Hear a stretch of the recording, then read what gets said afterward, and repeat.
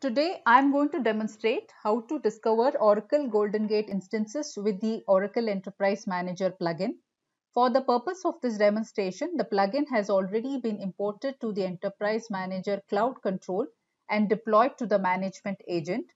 Discovery is a process where an agent identifies predefined target types, registers them in the Enterprise Manager plugin, and collects their target properties and initial configuration data.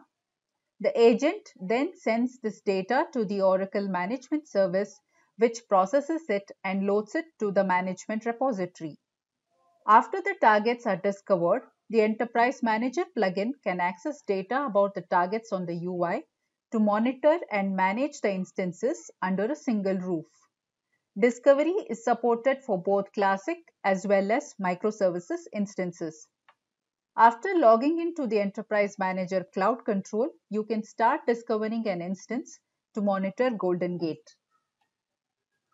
From the setup, click Add Target and configure Auto Discovery. Click the host and then click Discovery Modules. For a classic instance, select the Oracle GoldenGate Classic Discovery module and click Edit Parameters.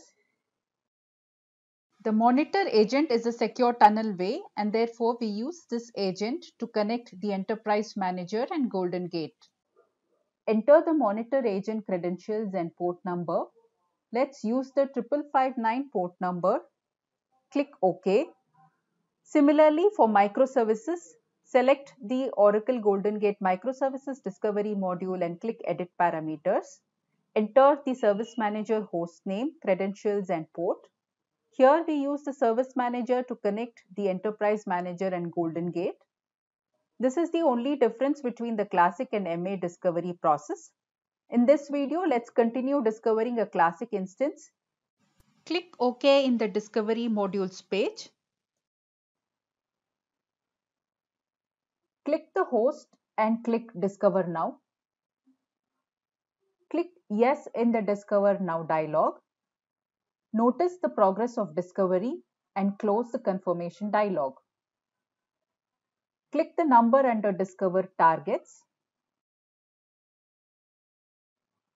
Click the OGG Classic instance and click Promote. Let's just leave the selected processes as is and click Promote. Click Yes. Notice the status of target promotion. Click Close. Click Submit at the Manage EM Agents. After the changes are successfully submitted, click OGG Home. You can view all the targets that have been just discovered and promoted. After the target promotion is done, the targets are displayed on the UI and can be monitored. Do tune into the Oracle Help Center for more insight and information.